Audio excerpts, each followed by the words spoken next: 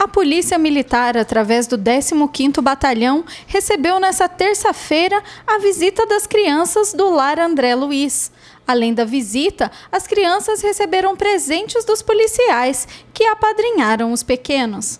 Já tem três anos já, né, que os policiais militares apadrinham uma criança do, do lar André Luiz e sempre nessa época de Natal. Então eles compram um presente, né, para cada criança do lar e fazem essa entrega próximo ao Natal, para até mesmo para que as crianças, né, façam essa é, assimilação de polícia, da polícia militar estar presenteando, né, é, as crianças no final do ano. Vocês estão realizando esse trabalho pelo terceiro ano consecutivo, né? É o terceiro ano consecutivo que nós apadrinhamos as crianças, né? Compramos os presentes e fazemos a entrega.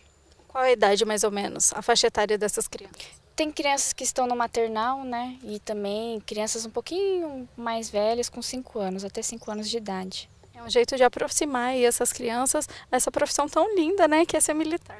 Exatamente, a gente já quer ir aproximando que tem muita criança que tem medo da polícia militar. Então é uma maneira da gente fazer com que elas percam, né, o medo e futuramente se tornem um cidadão de bem, né? Não caiam no, no mundo das drogas, do crime e que possam sempre assim é, vincular, né? É, o, tomar um sentido bom na vida, assim, a polícia militar. Vocês também acabam sendo o Papai Noel dessas crianças. Né? Exatamente. Daí a gente acaba fazendo a entrega né, do, dos presentes no Natal e elas acabam achando que a gente também é Papai Noel.